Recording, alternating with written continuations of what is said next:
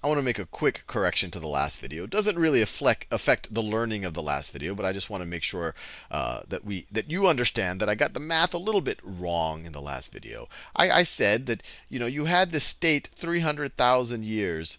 So we talk about the Big Bang happening 13.7 billion, 13.7 billion years ago. And then I talk about this state of affairs, the state of affairs, where maybe, we're maybe 30 million light years away from the edge of the observable universe, the current observable universe.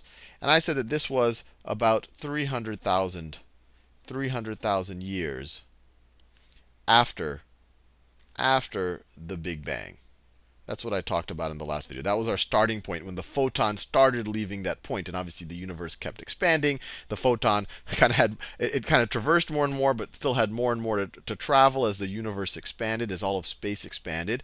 But this is 300,000 years after the Big Bang. Now, my brain, because I was kind of not thinking hard enough about it, I said, hey, this was 13.4 billion years ago. That's what I incorrectly said in the last video. I said that this is 13.4 billion years ago. Years ago.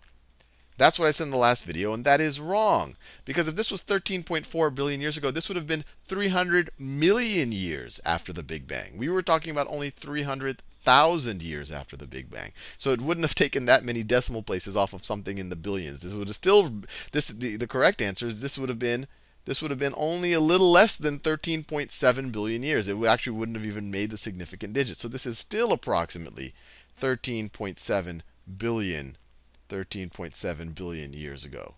So I wanted to just make that correction. It was a slight error. I shouldn't have viewed this as 0.3 billion years. This is only 0.3 million years. It doesn't even uh, it doesn't even basically change the precision on this number right over here. So I just wanted to clear that up, and uh, but hopefully it doesn't uh, uh affect your understanding too much.